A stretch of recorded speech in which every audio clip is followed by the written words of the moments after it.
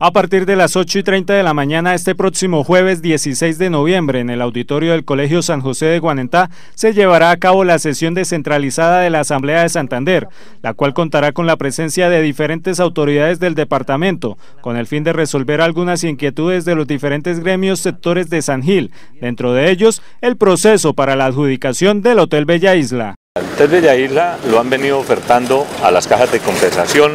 a varios oferentes, pero ninguno ha querido hacer ninguna oferta. La problemática que nosotros vemos es el problema de la infraestructura que hay ahí, que es una infraestructura muy vieja, deteriorada, y de pronto por eso no han querido ninguno hacer oferta. Pero lo que ha pedido Jesús Villar a través de la Asamblea del Departamento de Santander es que se le entregue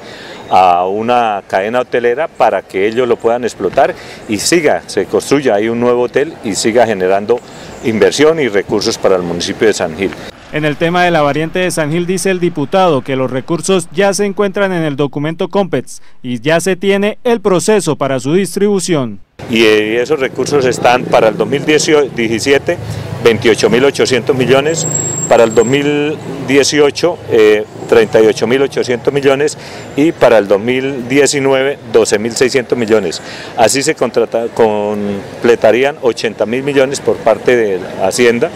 y 25 mil millones que colocaría Invías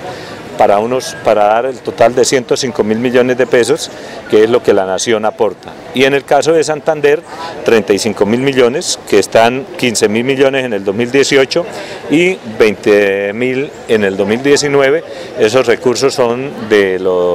la venta de Isagen,